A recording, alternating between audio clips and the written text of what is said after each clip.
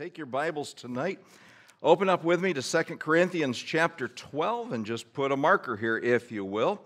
2 Corinthians chapter 12 tonight. I have to admit something that may come as a surprise to you. I like sarcastic t shirts. You know, the slogans and stuff that are on sarcastic t shirts. I just, I enjoy them. I figure if you wear a t shirt that has writing on it, you're wanting somebody to read it. And there's different times you just shake your head and snicker, and it, it's funny. Uh, the old lady Maxine, you know who I'm talking about? That character? There is a t shirt with her on it, and it says, I'm a grumpy old lady. I'm allergic to stupidity, and I break out in sarcasm. That just tickles me. There's another t shirt in big letters across the front. It says social distancing. And then in smaller letters underneath, it says, if you can read this, you're too close. Another one says, common sense is like deodorant. The people who need it the most never use it. Mm. I like this one. It says, There's no need to repeat yourself. I ignored you just fine the first time.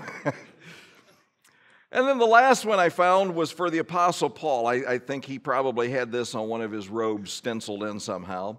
It says, I would like to apologize to anyone that I have not offended. Please be patient. I will get to you shortly. Some of you might get a little bent sideways over the suggestion that a Bible character would ever get sarcastic. And yet, as we look tonight in 2 Corinthians chapter 12, uh, we are going to see three times that the Apostle Paul was sarcastic. As he's dealing with this church, now I'm not suggesting that sarcasm is the, uh, ought to be the normal way in which we talk to people. But you got to remember, the Apostle Paul has dealt with a lot of things with this church. And if there has ever been a thick headed congregation, it was this congregation in Corinth. And there was times when the apostle Paul would say something, and he, he, here we are, we're at chapter 12, we are almost finished with Second Corinthians. And he is still having to defend himself. And so three times he, he throws out these little sarcastic barbs at them and then reels it back in. The point is not to insult the people, but is to get their attention. And so as we look at this tonight, chapter 12, verse 11, it says, I am become a fool in glorying. Ye have compelled me. For I ought to have been commended of you, for in nothing am I behind the very chiefest apostles, though I be nothing. Truly, the signs of an apostle were wrought among you in all patience, in signs and wonders and mighty deeds. For what is it wherein ye were inferior to other churches, except it be that I myself was not burdensome to you? Forgive me this wrong. It, I don't know. I read that and that just tickles me. Let me give you, I'm going to give you the sarcastic point that he makes, and then I'm going to give you the point that he was trying to make to get through to them. The first sarcasm is this He says, Forgive me this wrong. In other words, I'm sorry that I didn't burden you. Paul has had to keep defending his apostleship but it hasn't been with a bunch of words. Although he has defended himself with words, he has shown them the actions of what an apostle is supposed to do. He has lived among these people, he has worked among these people, he has expressed to them through his actions and through his words his love for them as an apostle. He has done all these things. As an apostle, the apostle Paul had every right to be supported by this church at Corinth. But he did it because there were people in the church that were making accusations against him. And we're going to see those here in just a moment. And so to this church, they are questioning whether or not he's really an apostle. He says, I have done everything for you that an apostle ought to do. The only thing that I haven't done is burden you. I'm sorry for that. Can you hear the little sarcasm, the little dig to this church? Now, the bite is there for a purpose. Let's look at his point. The point, verses 14 and 15, he says, Behold, the third time I am ready to come to you, and I will not be burdensome to you, for I seek not yours, but you. For the children ought not to lay up for the parents, but the parents for the children. And I will very gladly spend and be spent for you, though the more abundantly I love you, the less I be loved the point that he's trying to make. He's going to make four points here under this first sarcasm that he zings them with. The first point is this He says, I'm not here for what I can get out of you, I'm here for you. I'm not here for what I can get out of you. I am here for you. Go back to 1 Corinthians chapter 10. 1 Corinthians chapter 10, look with me at verse 33. Again, in the first letter that he writes to this church, Paul says, Even as I please all men in all things, not seeking mine own profit, but the profit of many, that they may be saved. Now, this sets Paul's ministry apart from perhaps other people in their ministries. They maybe came in, and, it, and it's no different today. There are those that it seems incredibly obvious that the only reason that they're doing the ministry that they're doing is so that they can extract something out of the people. They are trying to get the money out of the people. They are trying to get the, the power out of the people, all these kinds of things. They're not in it for what they can do for the people. And Paul says, Here's the point I've been trying to make to you. I'm not here to get something out of you. And, and I just kind of picture him saying, People, don't you get it? I have never once tried to get something out of you. I'm here for you. I want to give to you. I want to be a benefit for you. The second thing that he says is dads lay up for their kids, not the other way around. Is it the job of children to pay the bills of their parents? Absolutely not. It is the job of the parents to take care of the children. That's the way it ought to be. That's the natural order of things. The Apostle Paul sees himself as the spiritual father to these people. And you say, well, Paul took money from, from other people, he took money from other churches, he took support from them. That's right. But what was the, one of the biggest problems that this church had from the very beginning? They were carnal. They couldn't understand what it was to be an adult Christian. They were still babes in Christ. And Paul says, Because I am your spiritual father and you are still children, I'm taking care of you. I'm not expecting you to take care of me. Those other churches, he didn't come out and say it this way, but those other churches had a level of maturity that they understood that their role was to support his work. That's the way it should have been. But to this church, they weren't able to handle that. They were still children. He says, Then I'm still your dad and I'm going to take care of you. The third thing that he says to them, the point, is that I will spend and be spent for you. This is a great level of commitment to the people. I will spend and be spent for you. And this becomes even greater when you consider the last point under this. He says, The more that I love you, the less you love me. The more that I love you, the less that you love me. Our service in the work of the Lord is not based upon whether or not I feel appreciated. It is not based on whether or not we got the pat on the back that we think that we deserve. It's not based on being recognized for our years of service. It is not based on being shown reciprocal acts of love. That is not what it's about. And if that's what it's about for you, then you're doing it wrong. It's supposed to be about loving regardless of whether you're loved back because what you are doing is in service for the Lord, not for the pat on the back and the praise of the people. As I got to thinking about that, you do what you're doing, your various ministries throughout the church. You do what you do because you love the people. And can each of us tonight, I'm not, I'm not asking you to say amen, I'm not asking you to nod your head in agreement, I'm not asking you to raise your hand, I'm asking you, whatever your ministry is, regardless of what it is, is it a ministry because you love the people? Or is it because you're looking for something? Paul says, I'm not here looking for something, I'm just here to love.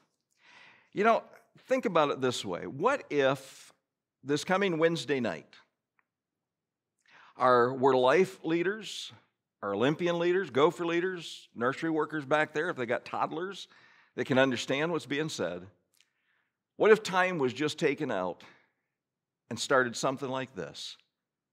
I want you to know why I do what I do here. It is not because it's a position in the church, because my name is on a line item in the, the list of officers. I'm here because I love you. And if the group is small enough, maybe take time and go around the room and say, I love you, Joey. I love you, Susie, because. And this is why. This is what I love about you. What a difference that would make. What a difference it would make if next Sunday in the Sunday school class, teachers started out a class with an affirmation of love for their students. That we are here teaching not because it's a job that has to be done, has to be fulfilled, but I'm doing this because I love you, because I care about you, because one of my greatest joys is being able to stand and to teach God's word, the word that I love, to people that I love. What a difference it would make before we left here tonight if you found ushers, greeters, musicians, uh, people that do the special music, uh, people that serve in the nurseries, the various positions, the sound guy, the person sitting beside you. If you just looked at them tonight after the service was over and say, you know what? Before we leave this place tonight, I want you to know I love you. I am so glad you're my brother, my sister. I am so glad we're in this church together. You know, tonight I can honestly say from my wife and I that we love you folks. And it is a privilege to serve this church family. It's a privilege to be here. Could we be other places? Sure. Do we want to be other places? No. Because this is where God's put us. This is the family that God's put within our hearts. And this is the people that we love. You know, that makes the difference. And Paul's trying to get this through to these people. Yeah, he's had to be pretty tough on them. He has had to really uh, say some hard things. And they just, they, all they do is they get their backs up, they get offended, they keep shooting off their mouths back at him. And finally, he says, Oh, I'm sorry, I didn't burden you. You got everything else that, the, that an apostle gives to the churches, but I didn't burden you. I'm so sorry. Oh, can you see them as he said that kind of, oh. Sometimes you got to get a person to suck in their breath to make them shut up. And that's what that little sarcastic zinger does. It makes them go, and now Paul can, he can get in there. Here's the second sarcasm, chapter 12 of Second Corinthians, verse 16. He says, But be it so, I did not burden you. Nevertheless, being crafty, I caught you with guile. So the second sarcasm says, Yep, I tricked you. Because evidently, as you continue to read this, you can kind of piece some things together. Evidently, there were some people that were saying, Yeah, Paul, you maybe didn't take money directly from us, but you sent Titus in. You sent some of your lackeys in, and they collected money for Jerusalem. Paul, is Jerusalem your middle name? Why, they must have been bringing that money to you. And Paul says, Yep, I tricked you. You caught me. And it was just a sarcastic zinger to get them to go, so that he could give them the point. Verses 17 and 18. Did I make a gain of you by any of them which I sent unto you? I desired Titus, and with him I sent a brother. Did Titus make a gain of you? Walked we not in the same spirit? Walked we not in the same steps? Bottom line, Paul says, I took nothing from you. Let's go to the book of Acts, chapter 20. This is something I wonder if Paul didn't face from other churches, some accusations he faced from others. Because in Acts chapter 20, to this uh, fledgling church of Ephesus, he says in verse 33 of Acts 20, I have coveted no man's silver or gold or apparel. Yea, ye yourselves know that these hands have ministered unto my necessities, and to them that were with me. I have showed you all things, how that so laboring ye ought to support the weak, and remember the words of the Lord Jesus, how he said it is more blessed to give than to receive. But he says of myself, you know, these hands have supported the ministry. There was many times where the apostle Paul, he was a bivocational evangelist. He would go into town. Sometimes we'll use the term a tent builder. And he would go into a town, he would find work to do to take care of his needs while still taking time off to preach and do things like that. So he had ways to support himself. There was absolutely nothing wrong with that. These accusations that were leveled against him, Paul says once again, I took nothing. Go back to Second Corinthians again with me. Second Corinthians again, chapter 12, verse 19. And he says here again, Think ye that we excuse ourselves unto you? We speak before God in Christ, but we do all things, dearly beloved, for your edifying. The final sarcasm that's given, he says, You think we've been defending ourselves to you. And he says, That's not the case. The point is, think again, we answer to God. This is who we ultimately answer to. As you serve the Lord and as you do things for the Lord, you are always going to have somebody that's going to climb your clock for something. And somebody's always going to get upset with you about something. And you know what? Sometimes it's enough to make you want to just throw your hands up and say, I'm done, I quit. I mean, this ain't worth it. To have somebody on my case all the time, I quit. Paul could have done that. And boy, I would think if anybody was ever justified to do that, it sure was Paul. But Paul didn't do that. You want to know why? Because Paul says to that church, he says, I don't answer to you, I answer to God. That's who I answer to. And tonight, Christian, you do not answer to me. You don't answer to that person sitting beside you, even though tonight after church you're going to tell them how much you love them. Amen? But you don't answer to them. You answer to God. Go with me to Romans chapter 14. Romans chapter 14, look at verse 12.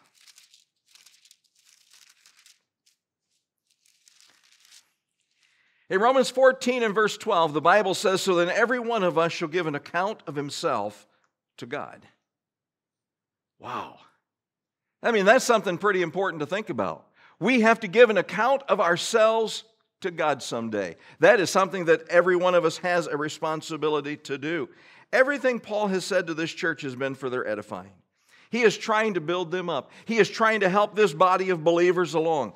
You would expect Paul, as he finishes out what he is going to say to this church, going back to Second Corinthians, you would expect Paul to finish out by naming off some of the most egregious sins that could have been committed. And that is not what happens. In Second Corinthians chapter 12, look with me, if you will, at verse 20. As he says, we answer to God, he says, I fear, lest when I come, I shall not find you such as I would, and that I shall be found unto you such as ye would not. Lest there be debates, envyings, wrath, strifes, backbitings, whisperings, swellings, tumults. And lest when I come again, my God will humble me among you, and that I shall bewail many which have sinned already and have not repented of the uncleanness and fornication and lasciviousness which they have committed. As Paul recognizes that he is going to answer to God someday for himself, not to this church, he knows that he is going to answer for God for the things that he has addressed to this church, the things that he has said to these people. What has he said to them? You would think he would name off a list of absolutely egregious sins. That if he comes back and he finds them doing it, because remember in 1 Corinthians, 1 Corinthians was it chapter uh, 5 or chapter 7, where there is incest going on in the church. I would call that pretty egregious, wouldn't you? And you would think he would name that, but he doesn't. Notice the sins that he names. First of all, in verse 20, he says debates. Debates. Albert Barnes says our word debate does not commonly imply evil, it denotes commonly discussion or elucidating truth or maintaining a proposition. But he says the word in the original meant contention, strife, altercation, connected with anger and heated zeal. That's what happens when you start debating with individuals. And he says, if I come back here and I find you debating, there's going to be a problem. The next one is envying. Well, we don't have to have that explained. We know what envying is. Then the next one is wrath. Wrath is hot tempers. Uh, that's scary to think about that in a church, people with hot tempers. But if you remember, uh, Charles Stanley tells about when he first started pastoring there at uh, First Baptist in Atlanta, Georgia, that I think it was one of the deacons came up and cold cocked him right in the front of the church. That's called a hot temper. Uh, and it would have been worse if he had just socked him one right back and they would have had a boxing match right there in the, at the front, you know, right on the communion table, just bang somebody's head off the table kind of thing. That's not what happened. He got slugged and the deacon walked away. So, strife is another one that's mentioned. Strife is literally partisanship. Partisanship is a political word. We understand that in our culture today. Sides have developed around a group, an individual, or a personality rather than Scripture. Partisanship is something that ought not to take place in the church. We can't have spiritual politics. The next two backbiting, whispering. Albert Barnes again differentiates between these. He says, Whisperers declare secretly and with great reserve the supposed faults of others. Backbiters proclaim them publicly and avowedly. backbiting and whispering. They're, they're cousins to one another. He says that's something he doesn't want to find out that they're doing. Swellings. The word swelling is conceit, inflated ego, being full of themselves. He says, I don't want to hear about that. And then tumults. Again, political instability. It goes back to that whole strife thing, the political instability within the church. We look at these and we say, Well, I agree that these things aren't good. I agree that they shouldn't be in the church, but particularly wicked, I don't know about that. Well, as you continue reading verse 21, Paul puts them into the same category as uncleanness, fornication, and lasciviousness. Those are the heinous things he was dealing with them back in 1 Corinthians. And he says, if I come and visit you and I find these things going on, this big list that he gives, and then three other things from chapter or from 1 Corinthians, he says, I will have to be such as I don't want to be around you. And he says, I will bewail many which have sinned and have not repented. Paul puts himself in a position where he tries to get a hold of this church's attention and to say, Look, God's grace has given me a message to tell you this is how you grow in the Lord. And the only way that you're going to grow in the Lord is to get these things out of your life, and you got to listen. You got to listen to what I'm trying to tell you, he says. So many times people won't listen.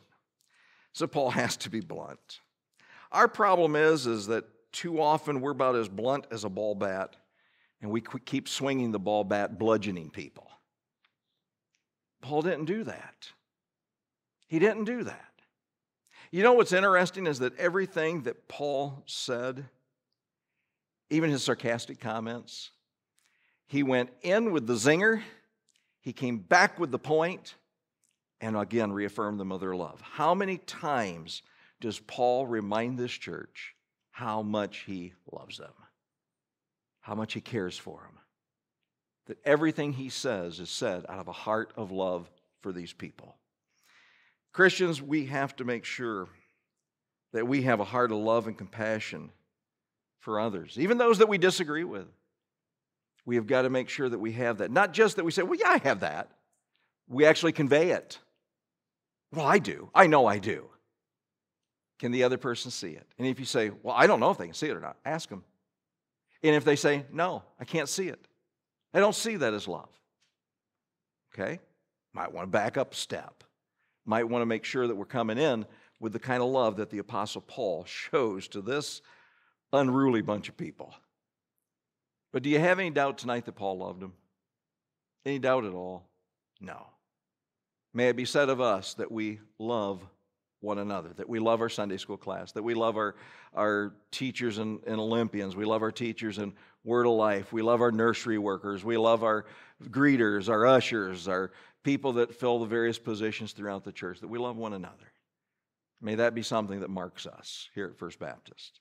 If you're here tonight and you don't know Jesus Christ as Savior, the most important thing that you need to know tonight is not that I love you or that somebody sitting beside you loves you, but that Jesus loves you. That's what you got to know because as much as I love you and the person sitting beside you loves you, none of us can save you. Jesus can, and Jesus will. If you will come to Him in repentance and faith, believing, calling upon His name to be saved. Jesus Christ loves you so much that he took your sins upon himself at Calvary and died upon a cross. And he was buried in that tomb. And he did it for you. He did it for me. And he wants to save your soul tonight, but Jesus is not going to force himself upon you. He stands at the door and just politely knocks. And tonight, I don't know, is there conviction going on in your heart? You're here without Christ as Savior. Is there conviction going on where you say, I don't know Christ as Savior, but Something inside of me is saying, I need to get this settled tonight. I'll tell you what, that's the Holy Spirit. If something is inside you telling you, ah, don't worry about it, don't worry about it, that's the devil talking. It's time to tell the devil to shut up. And I'm going to listen to what the Lord has to say. Will you come to Christ tonight? Stand with me, please, with our heads bowed and our eyes closed. Our Heavenly Father, we do thank you, Lord, for Jesus. We thank you, Lord, for the gift of salvation. And Lord, we thank you that as we read Paul's words, we even though, Lord, he uh, hits them with some of these sarcastic things to get them to be quiet, to listen. Lord, he still then swoops back in and verbally wraps his arms around him. If he was there physically, he would do it physically, but verbally wraps his arms around him and lets him know this is for their good, that he's just trying to help them. And we thank you, Lord, for such grace that is shown even in the midst of bluntness. Father, tonight, if there is one here that does know Christ as Savior, we pray that they would sense your call on their life, the love that you have for them, and that tonight might be the night that they would respond to the gospel. We ask it in Jesus' name.